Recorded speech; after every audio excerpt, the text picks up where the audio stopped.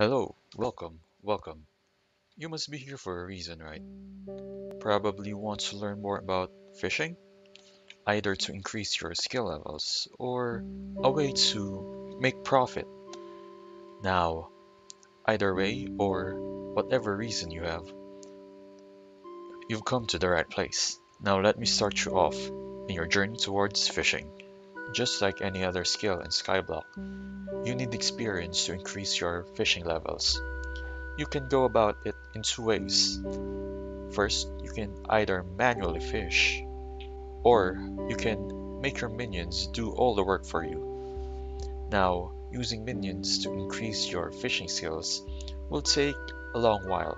It's more of a supplementary thing rather than a main thing. Now, if you're just starting fishing and don't have that high of a skill level, the only rod that you pretty much need for now is a normal vanilla fishing rod, as well as your normal damaging armor to deal with the sea creatures that you fish up. But if you want to start off pretty easily, you can just buy beginner fishing armors. Now, there's two sets that you want to keep in mind. The first is the angler armor set, which gives 4% sea creature chance, as well as minus 30% damage from sea creatures if you have the full set equipped. It also increases your HP in proportion to your fishing skill. While another set that you want to keep in mind is the Salmon Armor set. Now this set doesn't really have that much of an ability compared to Angler Armor but what Salmon Armor gives is 6% chance for sea creatures, as well as more health and more defense.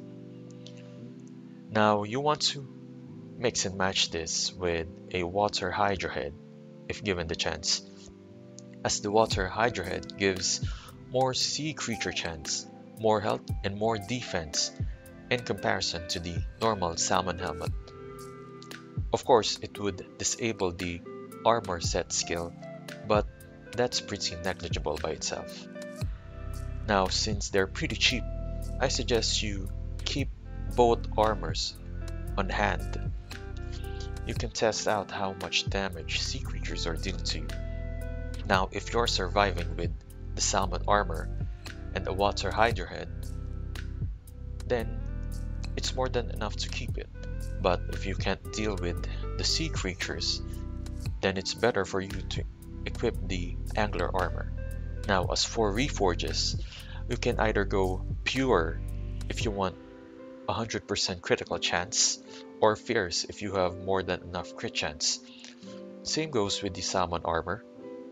When you reach fishing level 10, that's when you can start going for the better odds. Now once you reach level 10 in your fishing skill, you can either equip a winter rod or a challenging rod. They have pretty much the same stats. While the winter rod is much better to be used in the winter island, the challenging rod, it's a much better all-around rod. So take your pick. Now that you have your fishing gear in the ready, just fish normally as if you would in normal Minecraft. Just cast your hook with a right click.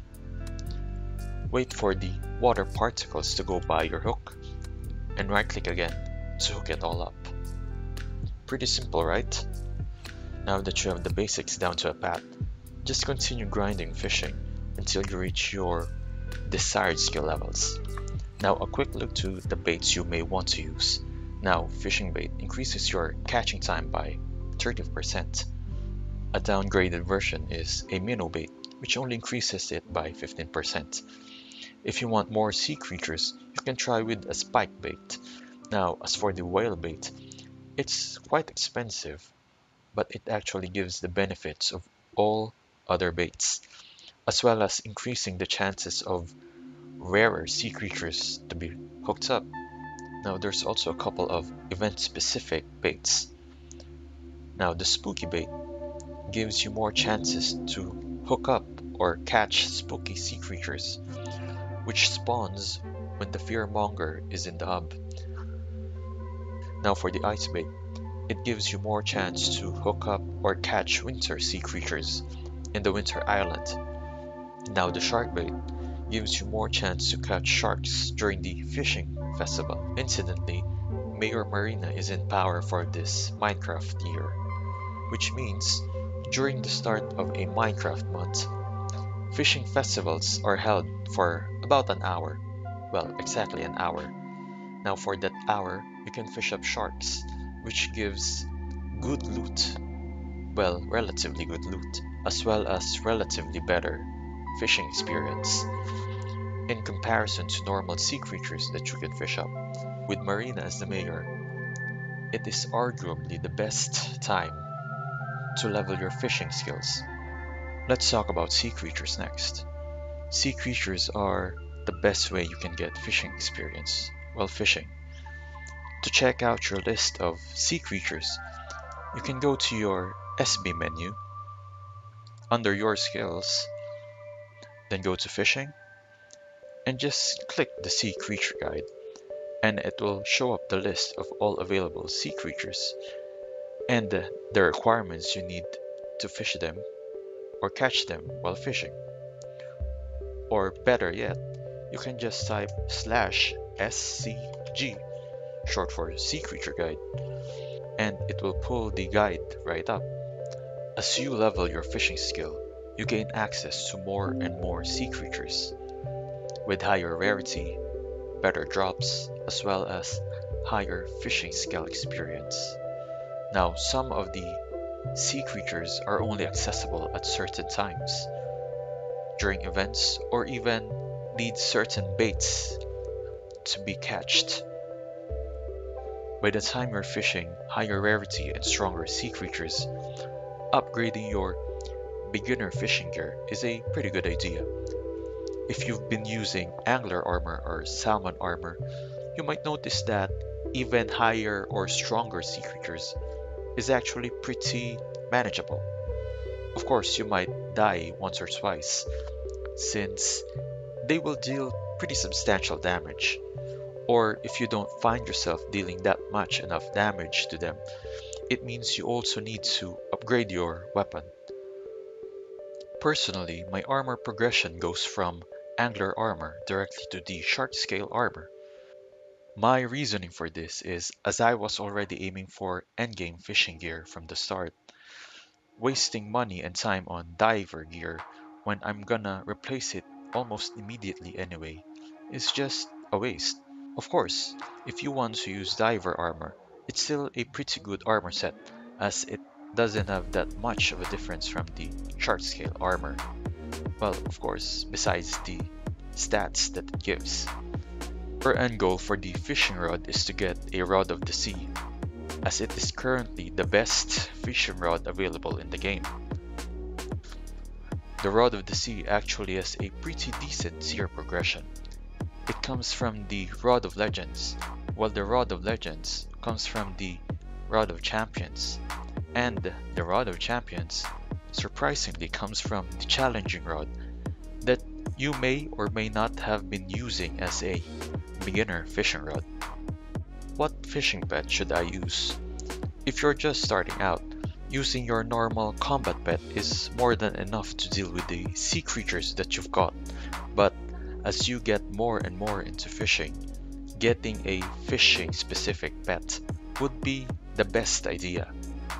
If you want more sea creature chance, as well as increased fishing speed, you may want to get a dolphin pet, and at legendary rarities, it stuns the sea creatures that you caught for 5 seconds, making them easier to deal with if you wanna go solo.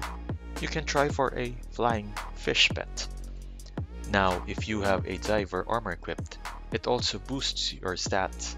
And lastly, for the squid pet, it's pretty multi-purpose. You can use them for money making with the double amounts of drop that you get from squids, or by increasing your fishing XP. Now, this is usually used in tandem with the flying fish and dolphin pet. How does it work? Well, you first equip your flying fish or dolphin for the sea creature chance and faster catch times. After you've caught a substantial amount of sea creatures, and just before they despawn, you switch to your squid pet, or your legendary squid pet to be more precise, and that's when you start killing them. Now since you have your legendary squid pet equipped, the fishing XP boost comes in, giving more experience from the sea creatures than you would normally get from just killing them if you have the flying fish or dolphin pet equipped.